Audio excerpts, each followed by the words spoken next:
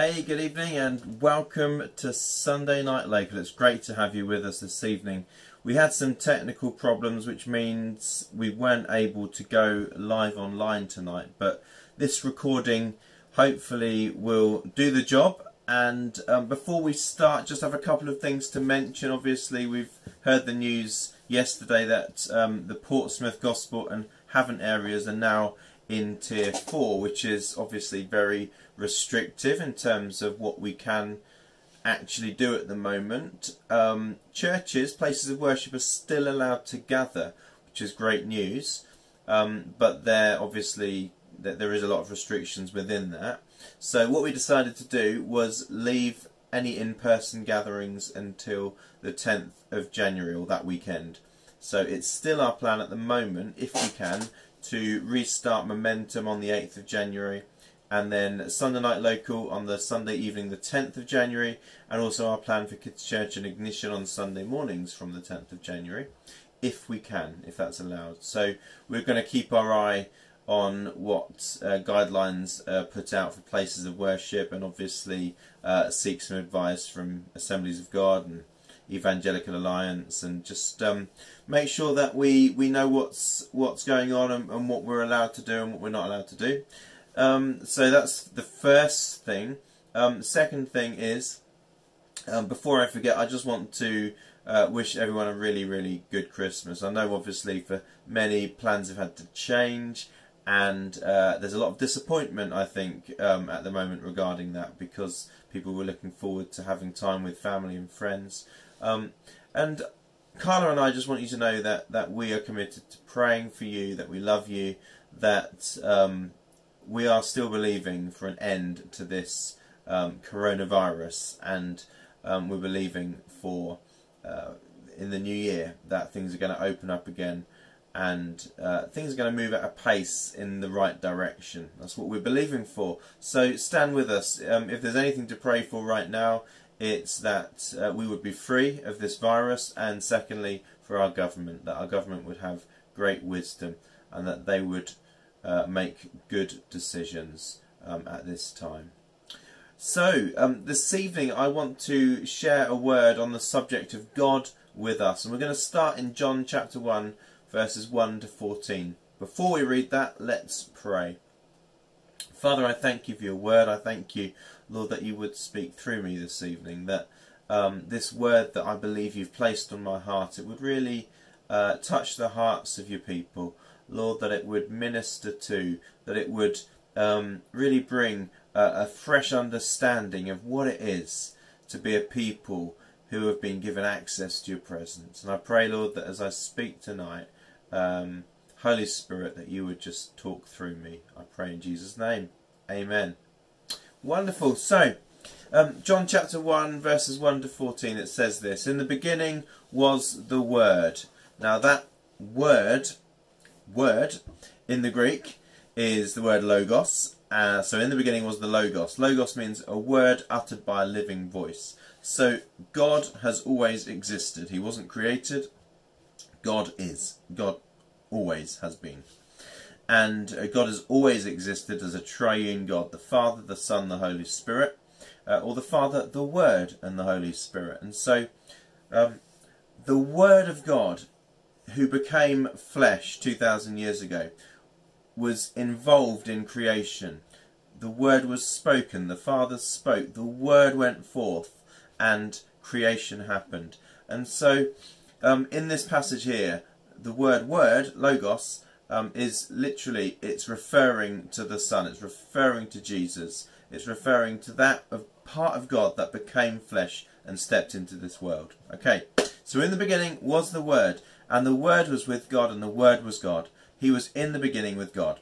All things were made through him, and without him nothing was made that was made. In him was life, and the life was the light of men. And the light shines in the darkness, and the darkness did not comprehend or did not overcome it. So the Word of God became flesh. It stepped into this world and it shone like light in this world. That's what Jesus did when he stepped into this world. And the darkness, the devil, the enemy, nothing of the darkness could overcome it because the light is greater than the darkness. Verse 6 There was a man sent from God whose name was John. This man came as a witness, or for a witness, to bear witness of the light, that all through the light might believe. He wasn't the light, but was sent to bear witness of the light. That true that was the true light which gives light to every man coming into the world. So that light that has been referred to is Jesus, the light of the world. It says in verse 10, He was in the world, and the world was made through him, and the world did not know him. He came to his own, and his own did not receive him. But as many as received him, to them he gave, he, he gave the right to become children of God, to those who believe in his name, who were not who were born not of blood, nor of the will of the flesh, nor of the will of man, but of God. So we understand that when we put our faith in Jesus, this internal transformation takes place, and we are spiritually made new. We're born of God, born again. And that's what this is talking about there. Everyone who receives Jesus, everyone who believes in him, um, becomes a child of God. And it says in verse 14, And the Word became flesh and dwelt among us and we beheld his glory, the glory as of the only begotten of the Father, full of grace and truth. What incredible uh, truth this is, that um, Jesus, the Word of God, became flesh, stepped into this world, and we beheld his glory. Um, and, and I'm so grateful that I've beheld his glory that I'm, I'm one of those who accepted the light in my life. Um, I love the fact that Jesus was full of grace and truth. You know, when Jesus walked in this world, he was full of grace. Um, he displayed the grace of God wherever he went, and he spoke the truth of God. And grace always comes first. It's important that grace comes first. If you just start with truth, if it's just truth, truth, truth, um, it, it can be harsh and it's not received. But Jesus um, brought grace and truth. He, he started with grace. He started by accepting and loving, and then he spoke truth, and it was received by people. So, God created the earth. He created planet Earth, and planet Earth was designed to be the eternal dwelling place of God's most precious creation, mankind. The realm of God, heaven, completely overlapped the realm of the earth. There was no divide between the spiritual and the natural. They completely overlapped um, as one. Now, in the very beginning, Adam and Eve walked on this planet Earth. That was an eternal place, the paradise of God, otherwise known as Eden, that had been created for them um, to walk in unblemished, unblemished relationship with God. Nothing hindered Adam and Eve from experiencing God's presence until they sinned. God's holy. Sin can't be in the presence of God. So at the point that man, so at that point, mankind became separated from God's presence. And they were left in a world that became detached from the realm of heaven. There was now a divide between the spiritual, the realm of heaven, and the natural, the realm of earth. Mankind had become spiritually dead, and life on earth was now temporal. Moreover, without spiritual restoration, men and women would end their days on planet Earth separated from God for eternity. But we know that it's God's will that none should perish. It's His will that every human being should be restored into a relationship with Him and have free access into His presence. That's the will of God. God already knew that sin would enter the world and already had an eternal plan that existed before he even created the earth. Um, his a plan to redeem mankind, a plan to restore men and women into an eternal relationship with himself. I love that this is revealed in, in little glimpses throughout scripture. One of them is in Revelation 13 verse 8. Jesus is described as the lamb that was slain before the foundation of the world. It was already part of God's plan. So when Adam and Eve sinned and they became separated from God's presence, they stepped out of that unblemished relationship with God. God already had a plan to restore his creation back into relationship with Him. Now, from the very first animal sacrifice that was made, um, that God made when He provided Adam and Eve with those uh, those coverings of animal skins to cover their nakedness after they had sinned, um, all the way through to the moment that Jesus laid down His life, um, that we we see a picture um, of what God was planning to do through Jesus, um, a foreshadowing of what God was planning to do through Jesus. God's plan was to deal with sin, and right from that, from the very moment that Adam and Eve sinned, and and God began this work of restoration, so that man could come back into His presence. Now, in the Old Testament, God chose the children of Israel as His own special people. Um, who he would walk in relationship with and who would experience his presence. So from the get-go, God began a work of restoration, of redemption of, of mankind. Now, God's people, through the law, became aware of God's perfect standard of living. This is why the law was given, to show what God expected from mankind. Um, it, it showed people God's perfect standard of living as well as their inability to keep it because the issue was deeper than just following the rules. There was something within the nature of man now that caused mankind to live in sin. It's called the sinful nature and that had to be dealt with um, and that wasn't yet dealt with. The law simply showed the people that they couldn't live according to God's rules. Through the prophets, God spoke to his people and they were pointed back to God. Every time that they as a nation messed up, they walked away from God, the prophets would point them back to God. And of course, the prophets also spoke of the one who would come in the future, the deliverer, the Messiah, the Saviour, to save his people from their sin. And also, uh, God instituted the law, the prophets, and the priesthood. The priesthood were those who um, the people through the priesthood were atoned of their sin or cleansed of their sin when animal sacrifices were offered in the tabernacle on behalf of the people. Those innocent animals would take the place of the guilty. The innocence of those animals would become the people's innocence. And so they would be temporarily right before God this made way for God to dwell in the midst of his people. God's presence filled the Holy of Holies, which was the very centre part of the tabernacle where the priests ministered. And King David loved the presence of God, and it was on his heart to build a more permanent place where God could dwell in the midst of his people. And that place was the temple. So the temple replaced the tabernacle. David, of course, couldn't build the temple because he was a man of war, and his son Solomon ended up building this glorious, incredible temple that was in the midst of the children of Israel. And the day of dedication of the temple was an incredible day where God's presence filled the temple and spilled out uh, from the temple um, just uh, temporarily. So in 2 Chronicles 5 verse 13 to 14 in the message it says this regarding that day of dedication when the Ark of the Covenant was placed in the Holy of Holies, when God's presence filled the Holy of Holies of the temple. It says, Then a billowing cloud filled the temple of God.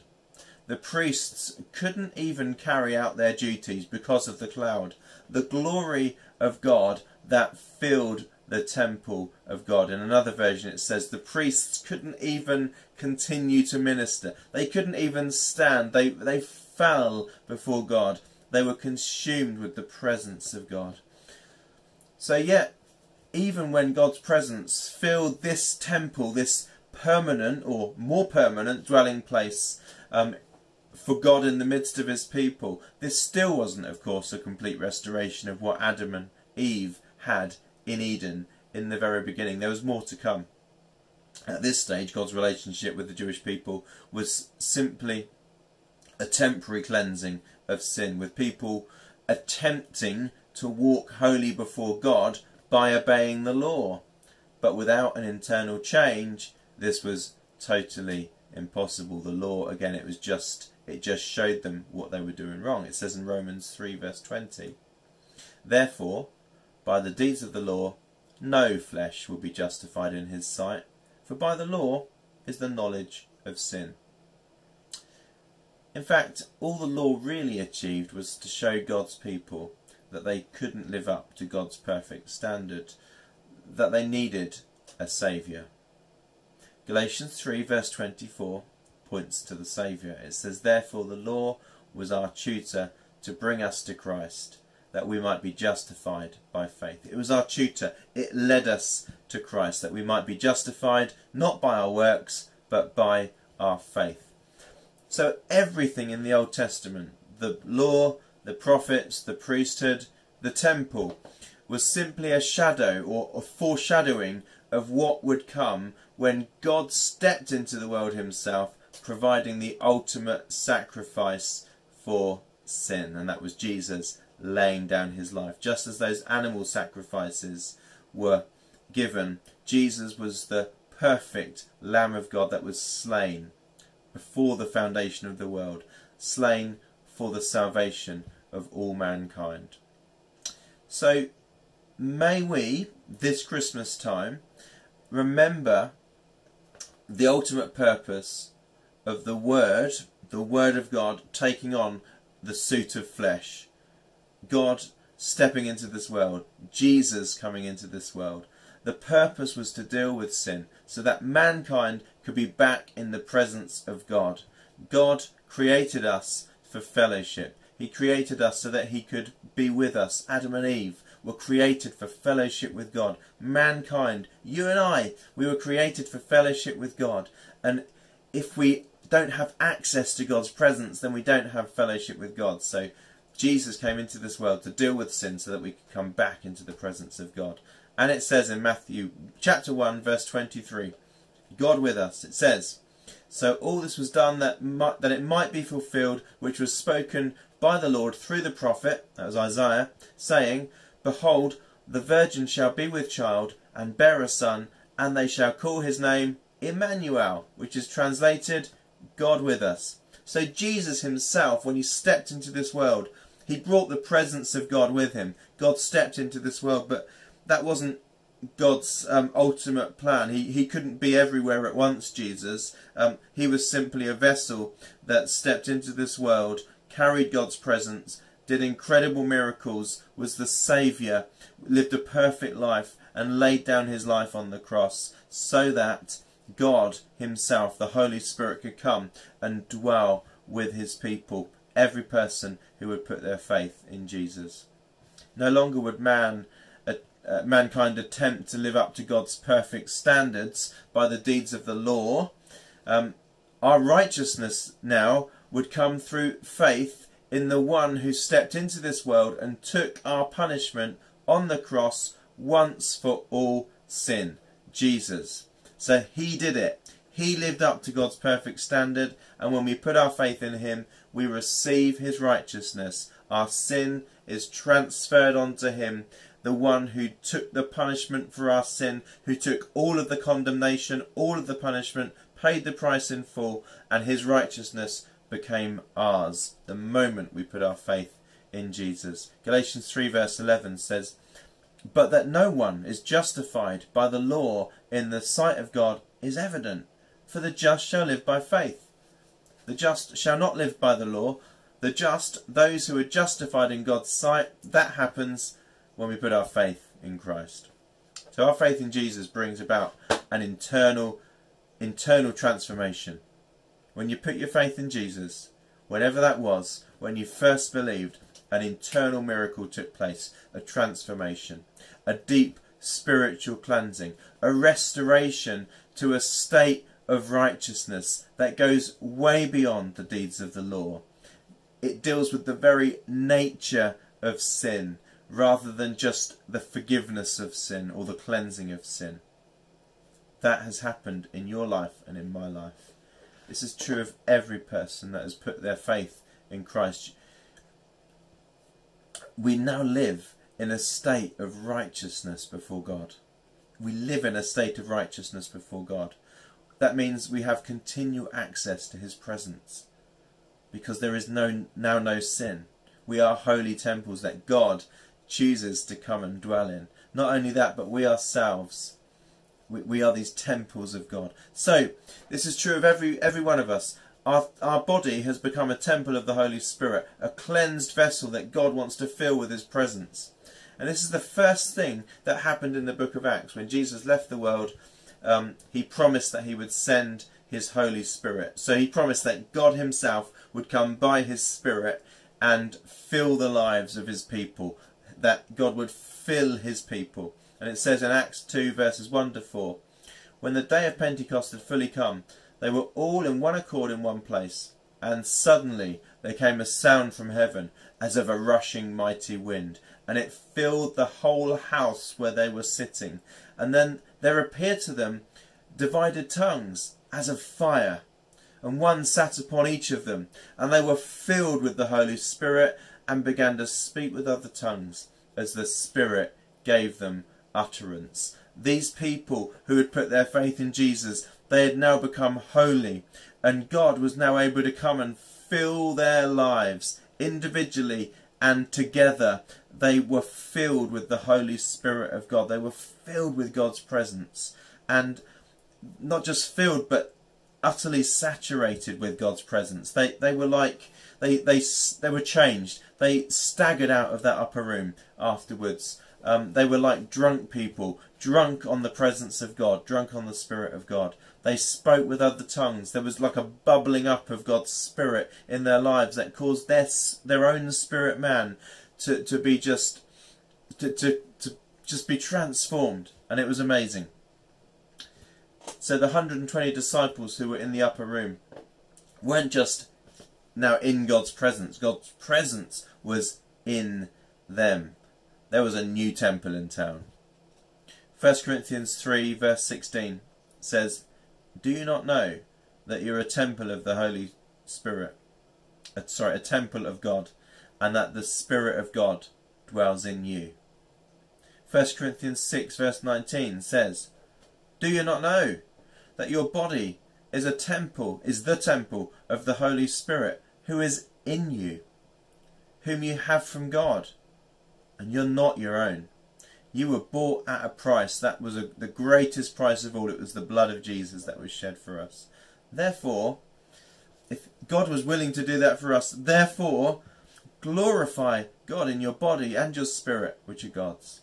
And I think that's a, a great um, challenge for us, um, a great command for us, is, is that we, as people who have been transformed by God, we should glorify God in our body and our spirit, which are God's.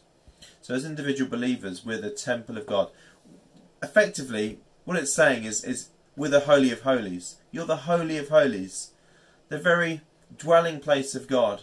And we have unlimited access to God's presence. So let's make sure we look after these temples, as we just read in uh, 1 Corinthians there. Um, Therefore glorify God in your body. Let's look after these temples. And I'm not just speaking about our physical health and well-being, but also let's ensure that we don't defile these temples, use them for unclean things. The truth is that we have been cleansed and we are God's dwelling place. That is the truth about your life and about my life because we've put our faith in Christ. We repented of our sin, we put our faith in Christ, and that is the truth. It was a work of God that took place the moment that we received the light of God that word that became flesh by repenting of our sin, putting our faith in Jesus. Our salvation is based on our faith in Christ alone, not on our works. No one can be can be saved by our works, as we read just now.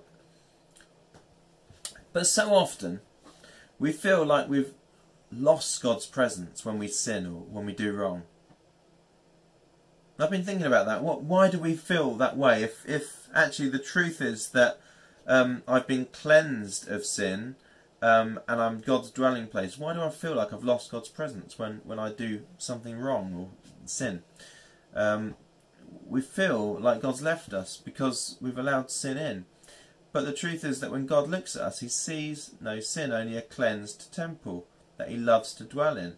And I'm not saying at all in any way that we can therefore just go ahead and do whatever we like because God's not going to leave us. No.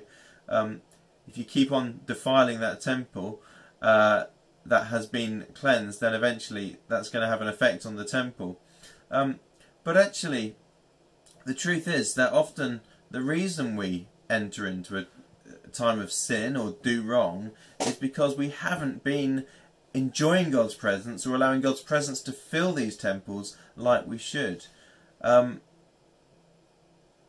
it, it, it's not a question of losing God's presence when we sin, but actually maybe we sin because we aren't engaging with God's presence as we should be. Um, but also it's the way we think as well. I, I reckon um, you know we live in a world that everything you get that's good you get because you've achieved something. You've you've done certain things. You've worked towards it. Um, but that's not how it works, is it? With salvation. Um, so I think it's partly because of the way we think. We often feel terribly condemned and, and feel like our sin is all that God can see when the truth is that there's no condemnation in Christ. God doesn't see our sin. He only sees the blood of Jesus that has cleansed us from all sin. So, I've got to keep these temples clean. Uh, and the best way to do that is, I think, remember who we are.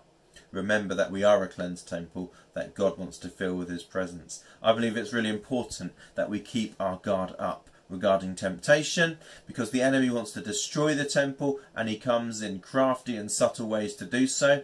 So let's make sure we we uh, keep these temp temples clean.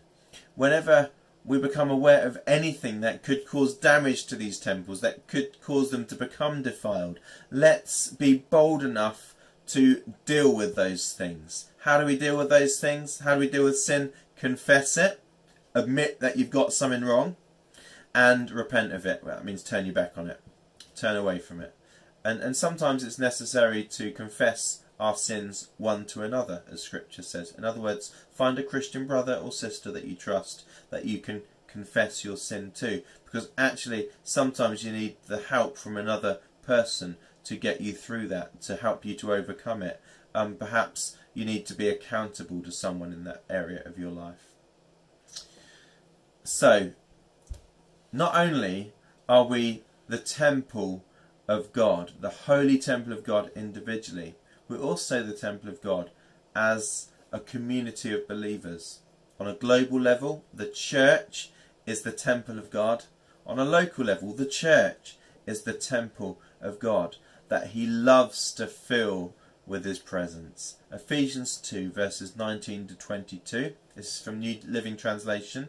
I read this one last Sunday morning when I was sharing. It says this So now, you Gentiles, you're no longer strangers and foreigners, you're citizens. Citizens, along with all of God's holy people. You're members of God's family. Together, we are his house or his temple, built on the foundation of the apostles and the prophets, and the cornerstone is Christ Jesus himself. We are carefully joined in him joined together in him, becoming a holy temple for the Lord. Through him you Gentiles are being made part of this dwelling where God lives by his Spirit. What an awesome truth that is. So along with every Jew who has put their faith in Christ, us Gentiles, us non-Jews who have put our faith in Christ, have become a holy temple in God that God loves to fill with His presence. Um, in second, uh, First Peter chapter two, it says, "We, the believers, are um, are living stones, not just a, a dead rock. We're living stones. We are lives, people who are filled with the vibrant, life-giving Spirit of God, and God is putting us together." and creating this incredible dwelling place that he comes to live in. Um, and God's plan for his dwelling place, the church on the earth, is that the church wouldn't just contain God and keep God to ourselves, but that um, God would flow out from this temple and affect the world around us. God's desire um, to be present with mankind is fulfilled through those who have put their faith in Christ and become part of his holy and glorious temple in, in this world, the church. Through this holy temple, God is reaching those who are lost. God's light is shining through this temple, um, through his church, into the world around us. The Holy Spirit is flowing like a river into the driest and most broken parts of this world, or should I say, into the driest and most broken people around us. God wants to flow through His church into the world around us. And as I said last Sunday morning, if we're going to be effective in reaching the lost, then this temple, both individually and together, corporately, must be filled with the Holy Spirit, with the Spirit of God, so that the river of God's Spirit can flow out from us. Remember I said last week, Jesus stood up in the midst of the, the Feast of Tabernacles on that great day and said, If anyone thirsts, let him come to me and drink, because Jesus is the living water. And so our responsibility is to recognize that we have been cleansed of sin, that we're holy temples of God, and that God wants to fill us with His Holy Spirit. He wants to fill us with His presence. And then Jesus said, out of his belly will, or out of his heart will flow rivers of living water. And that's what God wants to do. It's not just for us, it's for the world around us. The church isn't um, a bless me club. The church is has been called and ordained by God to um, to bring the life and the light of God to the world around us. So what we've got now is is so much more than uh, the people in the Old Testament had. Um, so Adam and Eve, they had the full expression of God's presence, unbroken fellowship with God. They never left God's presence until sin came in, and then they were completely separated from God. And God started his plan of restoration. In the Old Testament, uh, the Jewish people uh, were able to come close to God. God dwelt in the midst of his people, but not in his people. He he dwelt in the temp- the tabernacle and then the temple. Um, but God wanted more, so Jesus stepped into this world, and Jesus made the way for those who believe in Him to be completely cleansed of all sin, uh, for that sin nature to be dealt with, so that God could fill our lives with His presence once again. Just as Adam and Eve had that unbroken fellowship with God, we too can have that unbroken fellowship with God. But we still live in a world that is dying. We still live in a fallen and a broken world um, where there are multitudes of people who remain outside of God's presence. And only when a believer reaches heaven will they actually see in full and have a complete and unbroken experience of God's presence for eternity. And it says in 1 Corinthians 13 verses 9 to 12. This is from the New Living Translation. 1 Corinthians 13, 9 to 12. Now our knowledge sorry, now our knowledge is partial and incomplete, and even the gift of prophecy only reveals part of the whole picture. But when the time of perfection comes, these partial things will become useless. When I was a child, I spoke and I thought and I reasoned as a child, but when I grew up, I put away childish things. Now we see things imperfectly, like puzzling reflections in a mirror. But then, when we go to heaven, we will see everything with perfect clarity. All I know is now is partial and incomplete. Sorry, all I know now is partial and incomplete. But then I will know everything completely, just as God knows me completely. Love that. So whilst we live on this earth, we're like children who haven't quite grown up yet, whose experience of God's presence is incredible and awesome but partial in the sense that when we get to heaven we won't have this veil anymore and this veil is the fact that we live in a broken and fallen world surrounded by multitudes of those that are not believers and that this world is is dying what an awesome thing to have the presence of God what an awesome thing to be called by God a holy temple and to have his presence in our lives. Today and this Christmas, I pray that we will remember that God is with us, God with us, Emmanuel. Just, uh, I want to just finish by answering two questions, simple questions. Well, one question, sorry, with two answers. Why does God want to dwell with us? And the first answer is this He loves us. God wants to be with us. We were made for fellowship with God, and we are incomplete without fellowship with God. We're incomplete when we don't have God's presence. So God wants to be with God. God wants to dwell with us because He loves us. He wants fellowship with us. He wants us to know His presence. And He wants us present with Him. And the second answer to that question, why does God want to dwell with us, is because He loves the lost. He wants to flow through our lives, through His temple, us individually, and His church, like a river. Through God's presence in our lives, people around us, people in this world can taste of the goodness of God. They can catch a glimpse of the glory of God. They can experience His love and mercy. So it's absolutely vital that we are filled with the Holy Spirit, that we're filled with the presence of God. And being filled with the Holy Spirit is such a simple thing.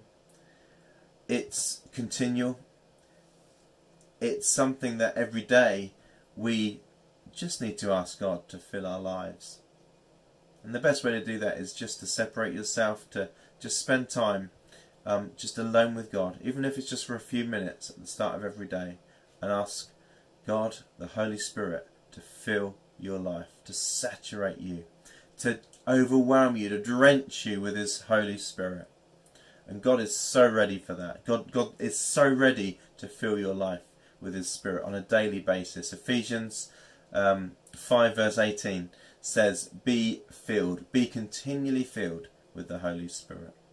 So Jesus came so that we could dwell in God's presence, but also so that God's presence could dwell in us. I pray today that you will be filled with the presence of God, that you will be filled with the Holy Spirit. In fact, let me pray for you right now. Father, I thank you for every person who has watched or listened to uh, this recording this evening. I pray, Father, that we would be a people uh, who are hungry for your presence. Lord, a, a people who are thirsty for your living water. I pray, Father, that even now you would fill us with your Spirit. Lord, we love your presence. We love the, the feeling of your presence in our lives. We thank you, Lord, that you don't hold back in any way, but God, you fill us with your presence. And I pray that even as people watch this tonight and listen to these words, they'll just sense your presence in their lives. Father, I thank you that this isn't for, for just selfish reasons, although we love just to be with you, Lord. But Lord, part of this is because you want to flow through our lives and you want to reach this lost world. So I pray, Father, that we will be a people that don't just drink of your presence, but allow your river to flow out of our lives, both individually and as a church. And I pray this in Jesus' name. Amen. Amen.